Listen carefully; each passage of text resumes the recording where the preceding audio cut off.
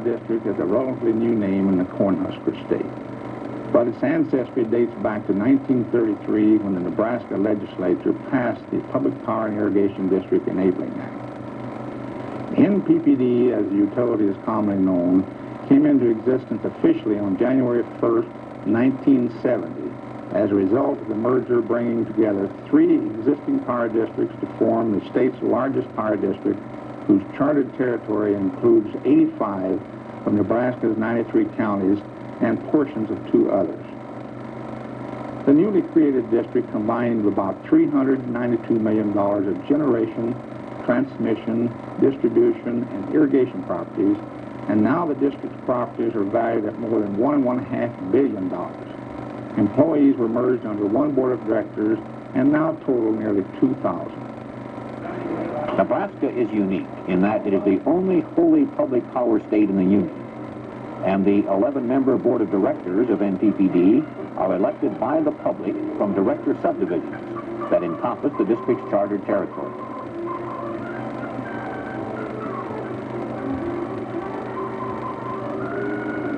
Day-to-day management of the district is vested in a general manager, deputy general manager, assistant general managers, and an executive staff that includes directors of the organization's various divisions and departments. NPPD has a veteran management staff headed by General Manager D.W. Hill, who has held that title since 1964. Hill came to Nebraska after having served as head of a public utility in the state of Washington. Deputy General Manager Don Schaufelberger has been with NPPD and its predecessor utilities since 1949. NPPD is a growing utility with dedicated people. There are hundreds of employees who have more than 20 years with the district, and several are in the 40-year range. Retail and wholesale electric facilities across the state are operated out of four regional offices at Norfolk, Scottsbluff, Kearney, and York that are assigned specific territorial responsibilities.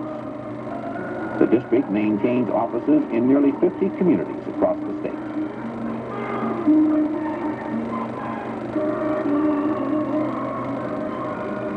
The two interrelated functions of hydroelectric generation and irrigation are headquartered in the North Platte Regional Office. The hydraulic division consists of two diversion dams 62 miles of large canals, and a hydropower plant. The irrigation division is made up of three diversion dams and about 500 miles of canals and laterals. Approximately 41,000 acres of land in the Platte River Valley receive water from the canals.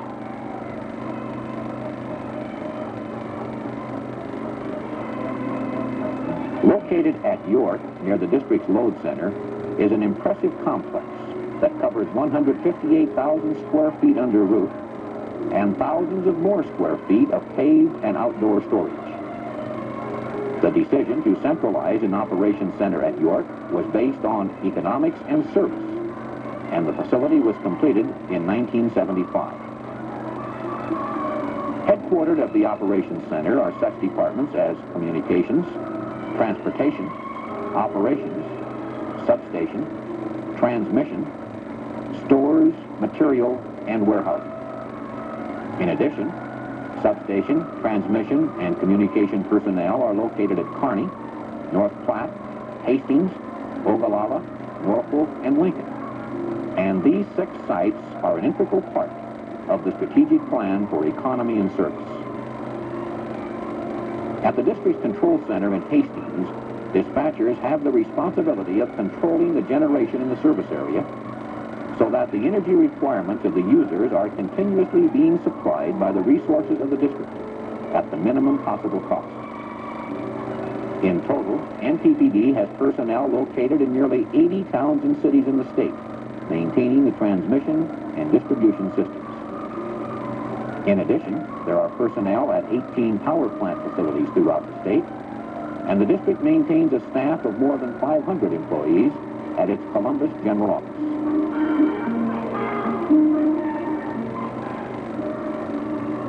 The three-level general office, occupied in December of 1976, brought together personnel that had previously been located in four buildings in downtown Columbus. With all utilities, the general office houses the normal centralized functions. The Generation Engineering and Construction Division is charged with overall design and construction of the power generation facilities. Design of sub-transmission and transmission lines and substations, and the management of the construction of these facilities is the primary responsibility of the Transmission and Distribution Engineering Division.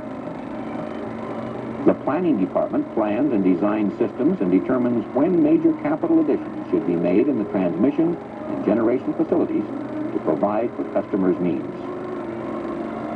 NPPD competes in the public sector on the issuance of revenue bonds, which, together with electric system revenue, finances major construction projects. Overseeing district finances is a primary function of the Treasury Department. Operation of the large power plants is the responsibility of the Power Supply Department. An environmental division provides advice and technical studies to management and other personnel on environmental issues. Within the broad activities of the various business and financial divisions, accountants accumulate pertinent information from throughout the district, which is compiled into various reports to provide management the tools necessary to make sound business decisions.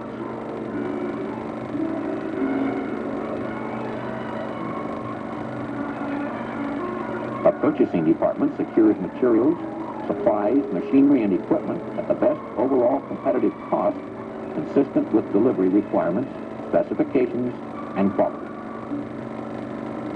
The function of the Energy Applications Department is to research, develop, and implement the necessary programs which will result in the efficient utilization of the electric facilities, including peak reduction and energy conservation.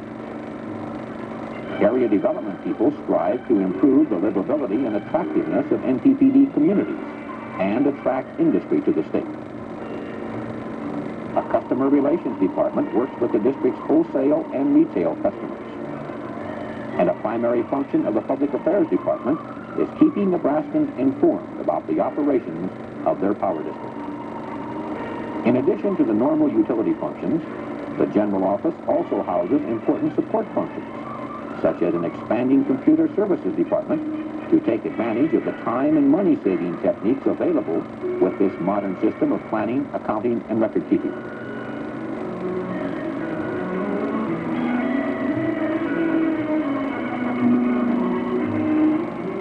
A fully staffed training department geared to the needs of field personnel as well as top and middle management people an active safety department that has guided employees to an accident frequency rate far below the national average for electric utilities.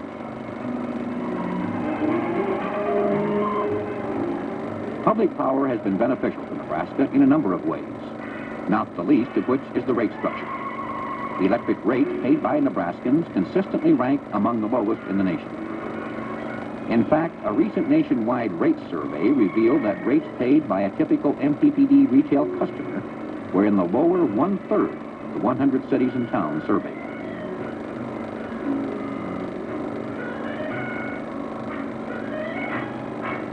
NPPD's transmission facility is the backbone of the electrical system, serving approximately 760,000 Nebraskans. And the district serves customers at both wholesale and retail. There are more than 350 cities, towns, rural, and other power districts in the state that rely totally or partially on NPPD for electricity. There are about 7,000 miles of transmission lines that make up the system. During a recent year, the district began or completed construction on an estimated $72 million in high-voltage transmission lines and approximately $37.5 million in associated substation projects. The largest single transmission project ever undertaken by NPPD was the building of approximately 330 miles of 345,000 volt lines in western and central Nebraska. In a six-year period ending in 1985, the district is constructing an additional 1,584 miles of high voltage lines to continue reliable service to the growing needs of its customers. Long-term lease agreements are in effect with 225 cities and towns, under which NPPD leases and operates the electrical distribution systems owned by the communities. Due to the dwindling supply of natural gas available for power generation and the need to switch to more costly oil, the district developed an agreement as a way to offer municipalities an alternative to continued high-cost power production. These agreements provide for NPPD to purchase the capacity of the municipality's diesel or steam electric facilities for use as needed. And in turn, the municipality will purchase from the district all or a portion of its electric requirements. In addition, the district has wholesale power agreements for total or partial requirements with more than 70 municipalities, and there are 26 power districts and rural cooperatives that obtain their total firm requirements, either directly or indirectly, from NPPD. To meet its power generation requirements, NPPD owns or exercises control over a variety of facilities within the state providing an economical and efficient mix of fuel sources. Included are the output of a nuclear plant, fossil steam plants of varying capacities, utilizing coal, natural gas, or oil, hydro facilities, diesel engine plants, and combustion peaking turbines. The balance of the power requirements needed to supply the grid system is purchased under firm contract from the Western Area Power Administration or other sources. NPPD is a member of the Mid-Continent Area Power Pool, which is an organization of electric utilities in an eight-state area that are interconnected by an extensive network of high-voltage transmission facilities. In 1979, approximately 38% of the district's energy requirements were from coal, 23% from nuclear, 7% from hydro, and 5% from gas or oil, which left approximately 27% to be purchased from a variety of other sources. By 1983, as the demand for electricity continues to increase, the district expects to generate approximately 62% of its needs from coal, 18% from nuclear, 7% from hydro, and only 1% from gas or oil, leaving about 12% of the requirements to be purchased from other sources. The decrease in purchases is due to the dwindling supply and high cost of energy from outside the state's borders.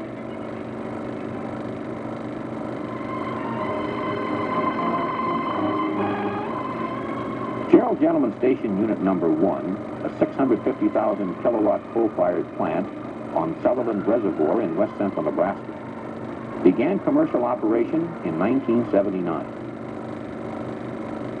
Ground was broken and construction began during 1977 on Gentleman Station Unit Number 2, also a 650,000 kilowatt coal-fired plant that will be supplying power in the early 1980s. Gentleman Station is Nebraska's largest fossil fuel generating facility. And since it is NPPD's first major generating plant outside of eastern Nebraska, it gives the district's grid system greater stability. Low sulfur coal from Wyoming is used as fuel, and some 800 tons of coal will be burned per hour when both units are operating at full capacity. The coal is transported to the site from a coal mine near Gillette, Wyoming. Wyoming coal is used because it is low in sulfur content and thus greatly reduces discharges of sulfur dioxide gases to meet air quality standards. Environmental features of the plant include such items as electrostatic precipitators, a sewage treatment plant, a wastewater evaporator pond, coal storage runoff pond, special boiler design, additional chimney height, and certain aspects of the cooling system.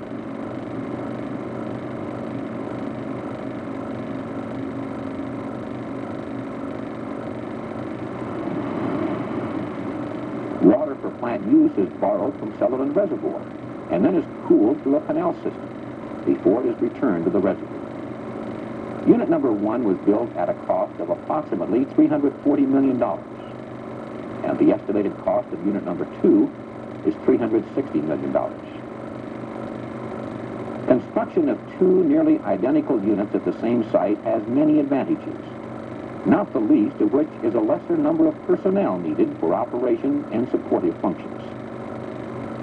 Other advantages include cost savings associated with a common coal storage area,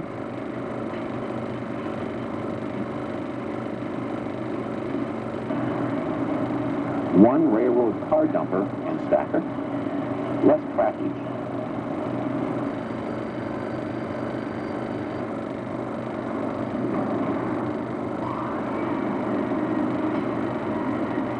identical water supply, a common ash storage area, and the need for less land. Two other coal-fired plants the district owns are Sheldon Station, a 225,000 kilowatt facility near Hallam, and Kramer Station, a 113,000 kilowatt facility at Bellevue. Kramer Station was completed in 1949 at a cost of $19.5 million. At full capacity, the plant consumes approximately 1,400 tons of coal per day. And this is also low sulfur western coal that minimizes sulfur dioxide emission. During full summer load, 144,000 gallons of water per minute are borrowed from the Missouri River to flow through the condenser. A reverse flow fabric filter system, more commonly known as a baghouse system, removes particulates from emission gases at Kramer Station. The baghouse is capable of removing more than 99% of the particulate. And the district has received a variety of environmental awards for its efforts at that plant. Kramer Station is one of the largest generating plants in the nation, burning low sulfur coal to install the baghouse system. And the performance of that system is of interest to the Electric Power Research Institute as an industry precedent. There is also equipment to meet environmental regulations on the chemical content of the water discharged into the river. Total cost for the air and water pollution control equipment is estimated at more than $20 million, which is more than the original cost of the plant.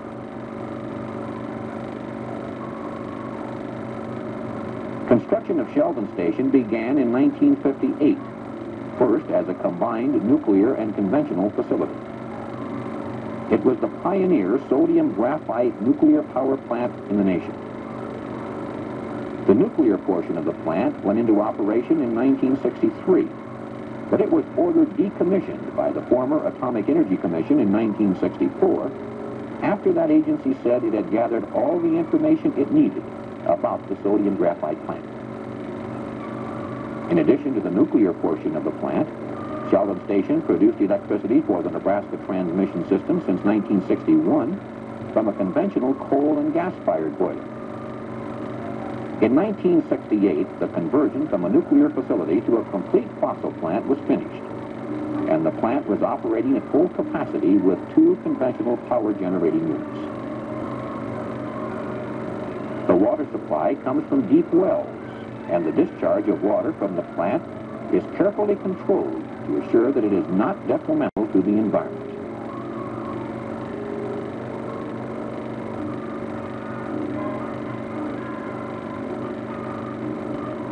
Towers are used to dissipate the waste heat from the steam condenser, thus permitting the water to be recycled.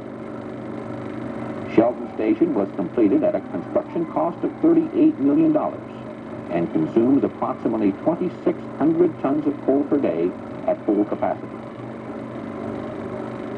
Major modifications were completed at a cost of $4.2 million to accommodate switching the facility from using natural gas as a primary fuel to low sulfur coal. In addition, the installation of electrostatic precipitators to bring the facility into compliance with clean air requirements resulting in an expenditure of some $12.2 million. Installation of equipment to meet regulations on the chemical content of the water discharge at a price tag of some $7 million.